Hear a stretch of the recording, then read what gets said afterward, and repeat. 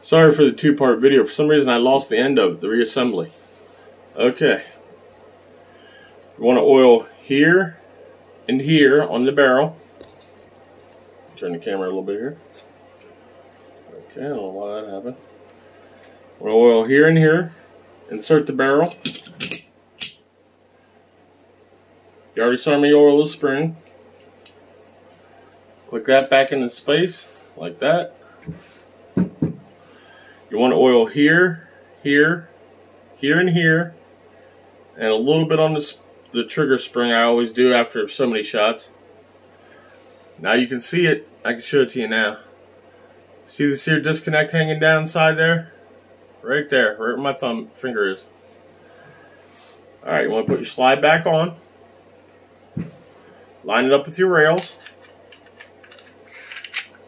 Pull back, lock it into position. Push up your takedown lever. Now you can either put your finger in here and push the sear back, or you can insert a magazine which will do the same thing. I always put my finger in. Put your finger in there and put your sear back into place, like so. And then do the function test. Good. Cycle it. Get some get the oil moved around.